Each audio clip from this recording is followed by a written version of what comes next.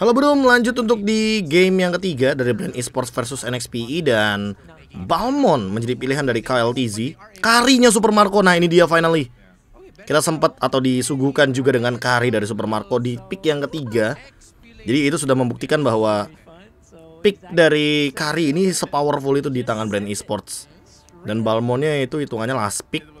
Jadi Ya sebagai match up lawannya adalah Benedetta Lumayan bisa mengimbangi lah untuk rotasi awal Terus nanti invasi jungle, clear wave Yang paling terpenting adalah di area Lord sih lebih tepatnya Untuk mengacaukan efektivitas teamfight di area Lord Sehingga Benedetta picknya di sini juga lumayan menjawab untuk di area jungle Terutama ketika memang dia bawa Iritel sebagai gold laner yang di mana kita tahu lah power dari Iritel ini ada di early game juga melawan Kari yang dia menggunakan mana. Jadi untuk clear wave urusan Iritel pasti lebih diunggulkan. Toh juga Iritel nggak perlu mana, jadi ya dia tinggal spam skill, ngasih penetration atau minus armor, terus ngasih efek slow, clear cepet. Plusnya Iritel terlalu banyak sih menurut gua, makanya bisa dijadikan sebuah opsi sebagai cold laner. Dan buat sekarang kita akan menuju ke game yang ketiga sebelum nanti kita menyaksikan match yang ketiganya ya. Game ketiga ini kan untuk match kedua. Di mana Brand Esports ketemu sama NXP EVOS. Selanjutnya akan ada Blacklist International melawan TNC Oke, okay, Eve ya, Eve Lagi dan lagi, Eve Grok ini meresahkan sih kalau kata gue Nah, tapi bedanya ini untuk sekarang nih. Untuk sekarang, LP Zonya yang jadi mid laner dengan menggunakan Valentina dan Faramis yang jadi roamer. Sempet yang gue pertanyakan juga di game yang kedua. Karena Faramis roamer menurut gue bisa lebih masuk ke dalam sebuah line up tim ketimbang dia menggunakan Faramis sebagai mid laner gitu loh. Apalagi di patch yang sekarang, patch yang terbaru lah hitungannya. Yang di mana ultimate-nya juga nggak sebanyak dulu, jadinya beda. Dan Elpizo sekarang tiba-tiba. Ini Ogwen sama View sih cepet banget rotasinya. To be. Retribution.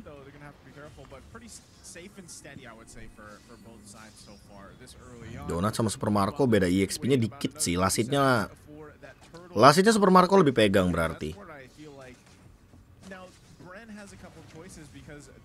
Oke, okay, Donat yang dapat.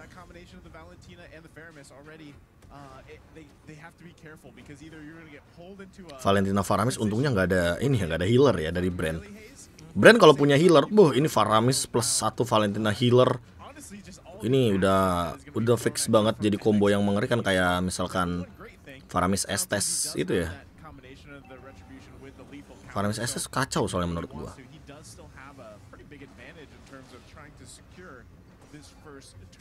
Ya, Ogwen nanggung banget mau level yang keempat. LP Zone-nya udah level 4 di sana.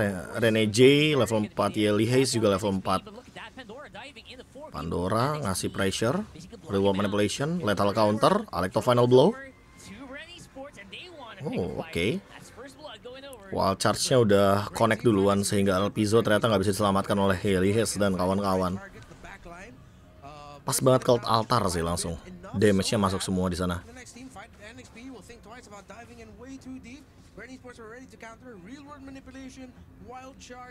Nah ini nih, ini nih yang bahaya nih. Mau di freeze land itu dia si Donat. Gak mau dikasih minion tuh. Dapat apa enggak tuh? Gak dapat kayaknya.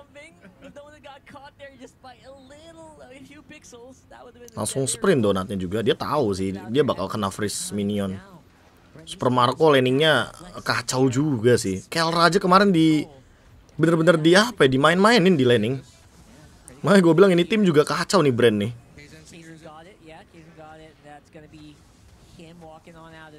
Ya, Clock of Destiny Rene J buat tambahan darah juga. Ogwen udah munculin diri.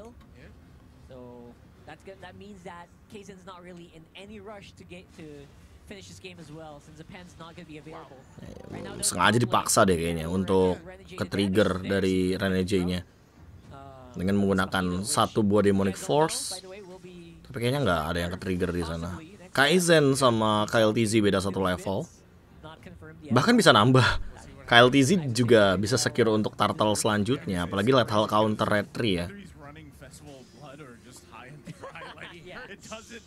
Pandoranya bisa kasih pressure di area top lane untuk area jungle. Jadi Kramernya bisa dimakan. Kyle TZ datang. Oh, dikasih Kyle TZ kayaknya. Nah kan, Kyle TZ-nya dapetin level yang ke-8 jadi lebih pasti untuk dapetin ke area turtle. KZ-nya beda satu level, bener-bener persis satu level.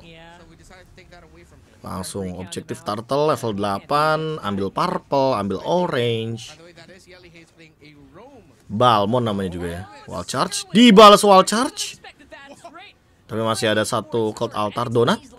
Uh, donat mati sih. Kenal asetnya Super Marco lagi 200 tuh langsung duitnya. Pandora yang datang ternyata dari area X-Plane. X-Plane-nya ternyata di zoning 21. Oke. Okay. Menarik sih. Sebuah gameplay yang di mana Pandoranya tiba-tiba dari area turtle dia turun gunung, dia clear mid, dia langsung menuju ke arah bottom lane untuk membantu teman-temannya. Sebuah movement yang menurut gua Pandora dapat momen banget di sana. Itu movement yang paling bijak sih ketika kita ngomongin soal bagaimana XP Lane bekerja ya dan membantu teman-teman lane lain sehingga mendapatkan sebuah objektif point yang penting. Dan sama kayak yang Kaizen lakuin, dia electro final blow, dia udah tahu nih Super Marco nggak punya sprint, nggak punya dash, Langsung dia skakmat di sana. Dan poin plusnya adalah di sini donat walaupun hitungannya tadi dia sempat di take down satu kali. Tapi dia sempat dapetin farming di arah bawah dikarenakan poin kill dari Kaizen membuahkan sebuah hasil yang membuka farming dari donat biar nggak ketinggalan level jauh-jauh banget lah.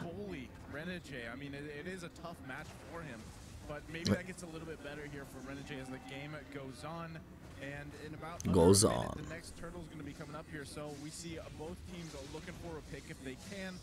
Kaizen trying to spawn out, farm back up too, because even with that early kill for Kaizen, the thing about Kaizen playing this jungle Benedetta is that at some point in the game, Iya sih jungle Benedetta ini poin plusnya bisa bisa ini sih bisa clear cepet aja sih.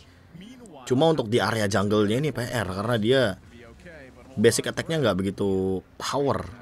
Dia hanya mengandalkan pasif dari total darah. Yelihes dipaksa untuk ngeluarin ult dan kena slow sama Super Marco sehingga cold altarnya hilang. Uh, El Pizo-nya ngeri sih dia bawa wall charge. Dari tadi dia bawa wall charge nih.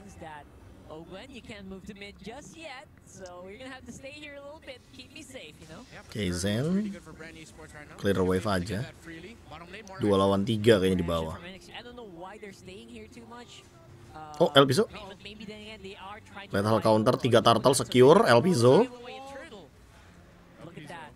Serem sih barusan barirnya.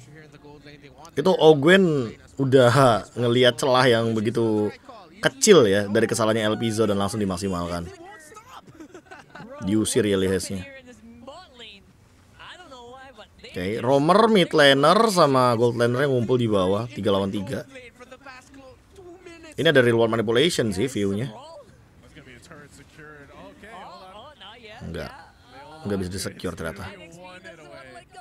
Satu hit lagi padahal itu NXP EVOS hancur bawahnya. Top lane-nya didorong sama Pakito karena Pakitonya juga menang laning dari tadi. Beda dua level Rene J sama Pandora. Pakito sama Poveusnya beda dua level teman-teman. Oracle. Item cooldown reduction. Domi Ice, item cooldown reduction juga kayak yang gue sempat mention sebelumnya bahwa ya lo bisa maksimalin item tank dengan cooldown reduction yang ada. Salah satunya juga kalau mau bikin magical damage yang cooldownnya cepat, ya cuma ada fleeting time. Sisanya Oracle, Domi Ice. Item apa lagi coba yang punya cooldown reduction? Queen Swings. Wah, item yang paling jarang untuk dihadirkan dalam sebuah pertandingan ya. Udah lama kita nggak lihat sayap pink itu, Queen Swings. Retribution, Kaizen masih aman. KLTZ-nya juga belum punya ult, belum punya Retribution. Oh, mereka mau ngepres di area purple buff-nya karena retrinya udah digunakan. Jadi tinggal retri balik aja di sana. Dan mereka lebih ready untuk melakukan setup ke arah Lord karena memang retribution-nya dari KLTZ ini kan dimainin dari area ini ya, area talent jungle-nya dia yang membuat untuk ngejungle lebih cepat, retry-nya juga cooldown-nya lebih cepat.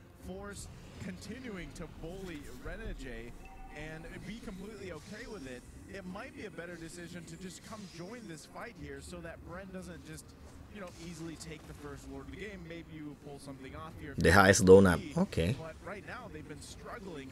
And LP Super Marco tapi udah lebih ahead jauh sih. the Ahead itu unggul ya. Ahead itu unggul. Um, advantage itu keunggulan. Kalau misalkan behind atau under itu tuh berarti mereka lagi dalam keadaan yang di bawah atau keadaan kalah atau mendapatkan ketidakuntungan. For Marco who actually is in front. Marco, Uset, awas pedih tuh kritikal. Lethal counter. Dan Pandoranya juga udah punya Hunter Strike. Jadi permainannya bakal jadi intens banget untuk beberapa menit ke depan. Dua menit ke depan kayaknya ya yang bisa dipastikan. Karena beberapa item udah jadi, jadi brand esports lebih berani untuk nabrak. Bukan jadi sih. Itemnya udah jadi sehingga, nah sehingga brand esports lebih berani untuk nabrak di game kali ini. Apalagi sebelumnya mereka end game dengan satu lord loh. Dan ini advantage mereka, keunggulan duit mereka sampai dengan 6000 Jadi menurut gue brand sangat diunggulkan di game 3 Mereka mainnya halus banget tanpa ada kesalahan ini lihat ini Valentina mid laner, Faramis roamer dengan pertukaran beberapa role yang terjadi membuat gameplay dari NXP EVOS kayaknya ketutup banget di sini. Reward manipulation di cancel. you know, almost there. Bakal ada lagi view ultimate-nya karena di cancel. Lagi dan lagi ya perbedaan ketika Yves yang di cancel sama musuh sama yang nge-cancel diri sendiri. Otomatis untuk dari segi cooldown reduction lebih diunggulkan ketika kita tercancel oleh musuh kita. Wow dikejar Rene J loncat lagi Super Marco free hit. J? Wah dipicu sengaja Rene J-nya dibawa terbang ke belakang sana. Call you out here, bro. That was pretty Jauh banget keluar dari area persembunyian NXP EVOS dan itu adalah merupakan keputusan yang sangat bijak ya ketimbang membiarkan Poveusnya loncat-loncat di dalam base dari NXP EVOS.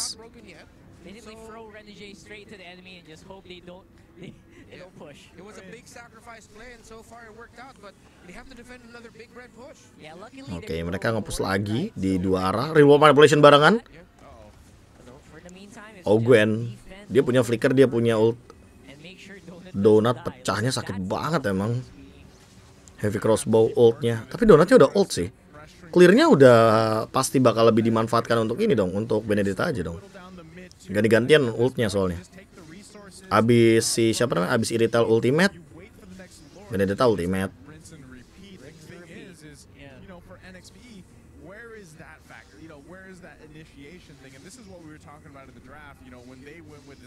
See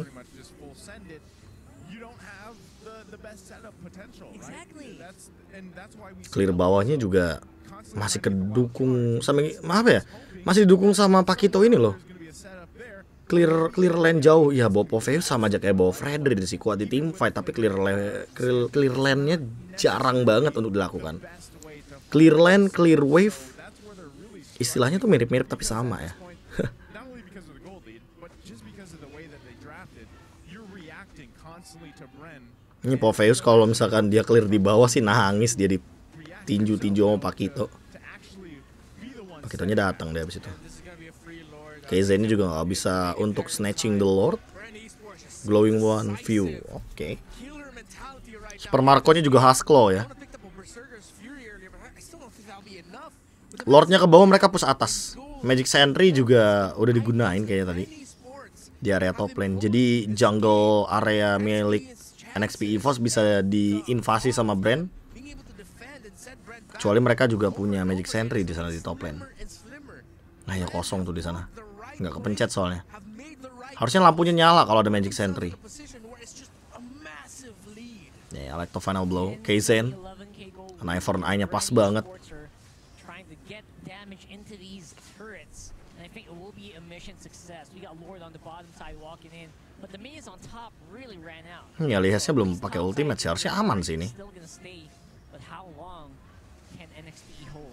Yeah, I think they're gonna go ahead and push this one in here in just a Oke, second. top lane anggaplah hancur sini, nggak bakal bisa di defense. Jelly Haze, Exposed. Reward Manipulation. Here, Oh, di Pandoranya. Pandoranya dapetin donat sama El Pizo. Iya. Yeli Hesse jauh dari donat. Nggak bisa di follow up. Apa yang dilakuin sama donatnya. Nggak ada cover jadinya. Beda emang kalau mid laner jadi roamer. Tapi sebelumnya juga sih. Means he's gonna have to back off a little Nggak ada ultimate sih. Bisa end game ini.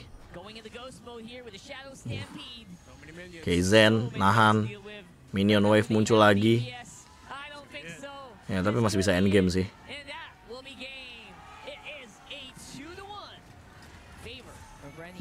Faramis roamer pun masih belum efektif karena ya balik lagi untuk penggunaannya sepertinya belum maksimal dengan tadi pick off yang terjadi dari Pandora Pakito. Jadi kalian jangan kaget ya kalau Pakito di ban di rank lengkap dia hero lengkap.